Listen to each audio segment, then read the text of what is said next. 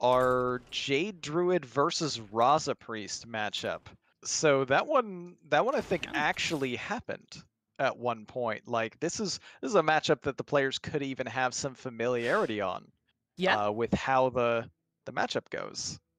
yeah, absolutely. And uh, so here is the deck list. We saw Flying Kraken a couple games ago playing that Jade Shaman, and now we're going to see him on this uh, Jade Druid. Of course, you got things like the swipes and some of these other minions, and of course, the ramp to kind of help get you to things. I love this one of mind control tech. I don't think the Raza Priest is going to be the matchup where this MCT is going to come down, but you know, that's that's besides the point. Uh, and then, of course, Azalea playing this 2018 Raza Priest. So, for those who may not uh, know about this, can you give us a breakdown of what the Raza Priest did, Ron? Uh, yeah, it, it pinged your face a lot. It was a machine gun. So basically, th- what this deck is trying to do is play Raza early as possible on curve, like play it on turn five, make your hero power cost zero, and then get to the turn eight with Shadow Reaper Anduin. Um, it also has a an effect, a defensive effect, to clear out minions with five or more attack, but that's not the real important thing with it. The important thing is changing your hero power to deal two damage. And when you play a card, you refresh it so you play it again.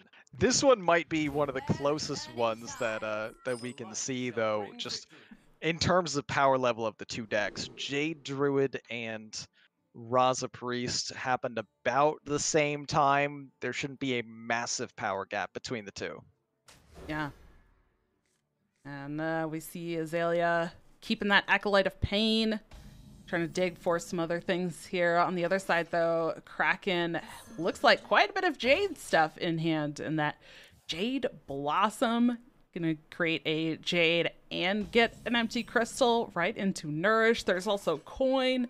Lots Yeah, of it's a uh, great curve for Kraken here. The Arcane Tyrant as well to get some stats on the board next to the Nourish. Yeah, these options don't seem super great. maybe the Shadow Word Pain to just yeah. plan on like clearing a behemoth or something. Yeah. Definitely don't think those were the kind of options that Azalea was looking for. And there's that coin No, into the ideal. Jade Blossom. It's starting. Here we go. Uh ooh, big pickup on the top deck here, the Talon Priest. Yeah. That minion would probably still be pretty good in today's Hearthstone. I, I think so, yeah. But that was a great pickup, like you said. Now is, I, I think, going to create a little bit more uh, flexibility here for Azalea. Try to power through some of these draws and healing and just maybe getting on board, being able to push a little bit of damage and maybe can work towards closing out the game, even if there isn't that Raza or the uh, the hero drawn. But that might be a little bit of a of a tall task once Kraken right. really gets Azalea's these jades going. Two chances that a Raza, well three, Yeah. right? Play the novice, heal the cleric, and then the top deck. Still no Raza yet in the Raza Priest. yeah. Kind of a key card. you don't say.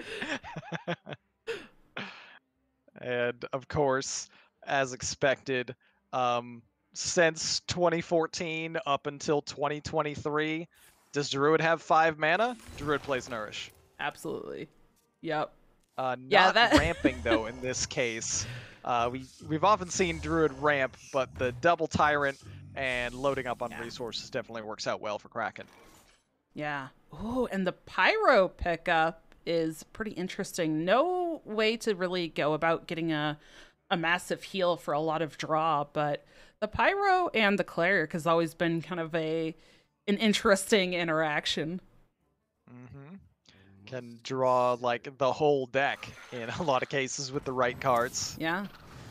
We've got a Glimmer Root to see the options. Spreading Plague, Bog Beam, and Cenarion. Ward. It is open list, so it's uh it's easier to guess yes. when you know the other ones weren't run. Absolutely.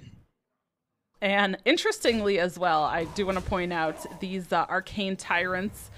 Uh, we are playing this, you know, Hearthstone history style decks. Uh, history has shown that in the past, Priest has had a difficult time removing uh, minions with four attack, and the Shadow Word Pain not doing anything there against those arcane Very tyrants. true. The Pain does do a great job against this Jade Behemoth, which may It have been the reason for the pick early on. Um, and Azalea can essentially clear up this board. Still waiting on the Raza, though. Yeah.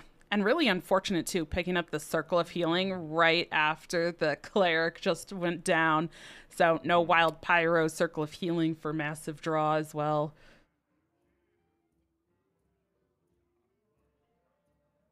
So a lot of options in hand, a lot of card draw, and just still trying to find the most important cards that make the deck go. At the same time, it's it's tricky on the priest side because you don't want to use too many cheap spells Yeah. um, or cheap anything. You want to save them for the turn that wins the game.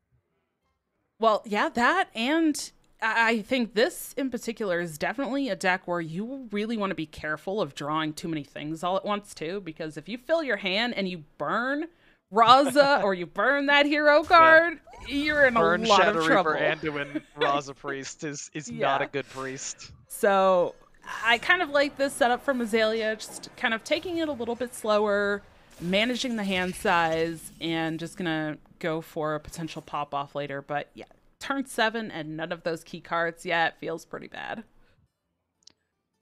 Yeah, I don't know. Maybe it's just time to drop an Acolyte and a Thalnos or something. Try to get some draw. Azalea gonna just go a little bit wider on this board and say, I'll, I'll pick up the Raza. It's coming. Yes, yeah, just believe. Just gotta believe. But you know, on the other side now, there's a lot of removal uh, for Kraken. Double swipe. There's uh, Wrath, the Spreading Plague of Fandral Zone. pickup. Uh, Yeah. He's he's in standard now, by the way, but he's way too bad to play in standard. yes.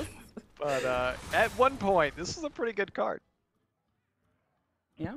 But these uh these swipes pretty interesting. We haven't seen swipe in standard for a while. Of course, they are playing these uh, older variants, and yeah, swipe was a, a pretty big like key component uh, for quite a while for Druid, but starting to get a little bit more uh, jades out here. Only building up a jade jade to a three three, so not terribly large big green men yet.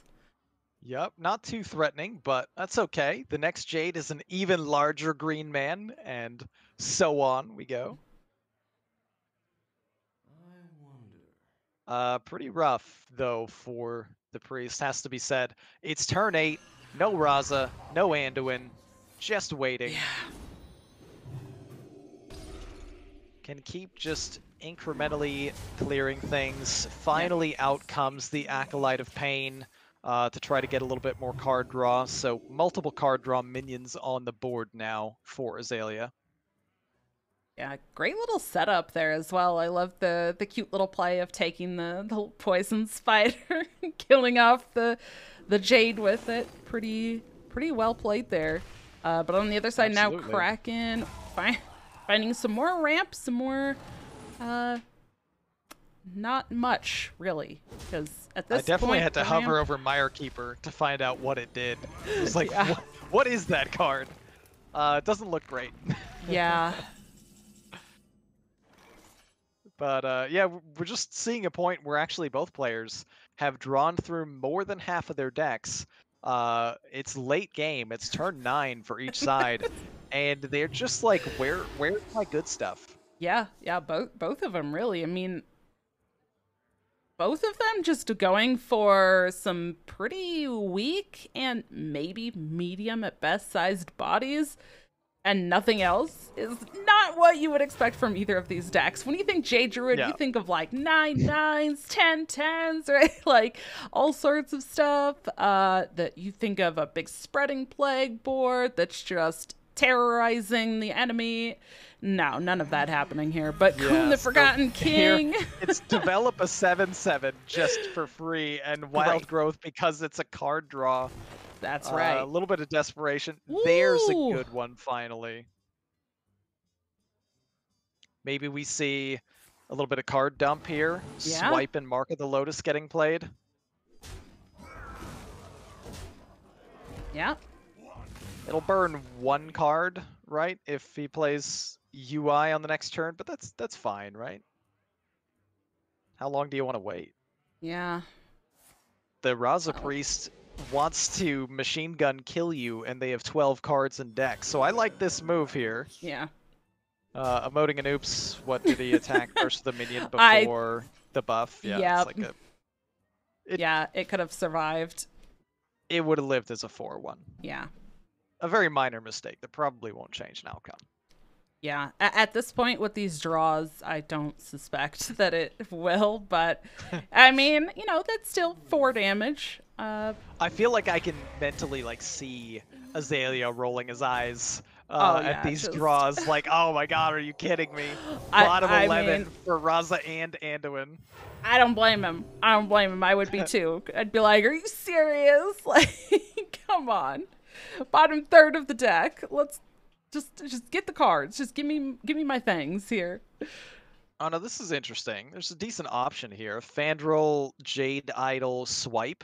Yeah. Swipe face clears the Soul Priest, play the Fandral, get I a like Jade it. Idol, more stuff in hand, and you don't burn a card off of UI. Yeah, yeah. This is still a very powerful turn, an absolutely great setup, and makes for, like you said, that better Ultimate Infestation follow up as well. So it's, it's like a two part setup. I, I like it a lot. There's the the, part, an even larger green man. So Anduin finally coming down. Um, Yes. Doesn't clear a board and isn't a zero mana hero power. Not what Azalea wanted, but Yeah. still, it's one of the important cards. Surely Raza will show up eventually. Yeah. I mean, it still is part of a setup, and it's still putting a clock on Flying Kraken, right? There's there's still that potential of a lot of uh, hero powers coming out. True. Uh. Velen also doubles, so Yeah. oh wow, and there's the There's the Raza right on cue. Uh, Velen was doing what, Is- 10 damage, 12 damage with button. It's not enough for lethal. Yeah. Um, but Azalea's health total is really being pressured here. It is. Is there a way that Azalea Looking at- can clear to prevent? 15 on the other side. Um, probably something like a Raza Pyro Spirit Lash. Yeah. Because you can you can ping with the void form over and over too, and Spirit Mhm. Lash is huge. I think I'd rather see Raza get played first. Yeah. Yep. Looks There like Azalea agrees.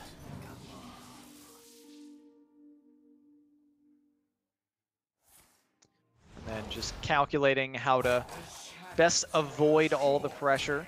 Yeah. Great setup, though. I really like the ordering this turn, setting up to capitalize on that Spirit Lash.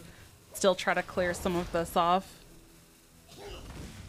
All right, so 10 off, a little bit less, I guess three off, or um, seven off, now five off for Kraken. Yeah. Gonna lead with the armor gain. Uh, and also it's free with the Nourish in hand, essentially, to get the mana back if he was going to play Nourish. An even larger man! They just keep growing. More draw, And- more jade cards coming in hand. There's that uh, mind control tech that I mentioned. Again, this is this is not the matchup that uh, that mind control tech is going Not to be quite. helpful An in. even larger man! An even larger man! Here we go. Look at that. They've now changed card art for the last time uh, because Yep. they have been uh, properly bigified. Is that a word? I'm gonna go with that's a word. It's a word now. if it wasn't, it is now. Uh, is this enough here for Azalea? Two, four, six, 16. Yeah, it's, it's just a little bit off. Uh, maybe rescue me, Kazakus. It's a great draw off the top. Mm-hmm. could just start with it, see what you get first before using a hero power. Properly, y- Or- you like properly bigified Simba. I'm glad you, I'm glad you like.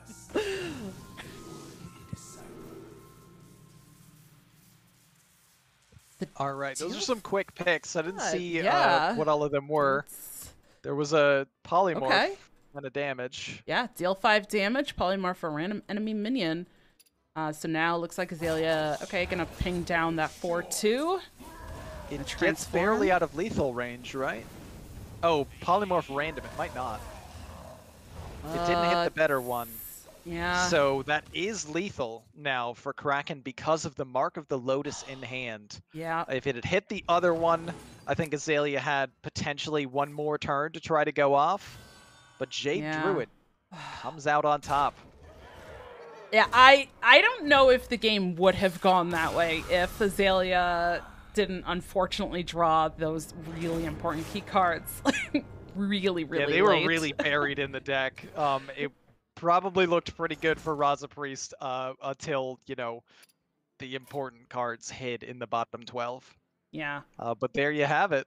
Jade Druid knocks out Raza Priest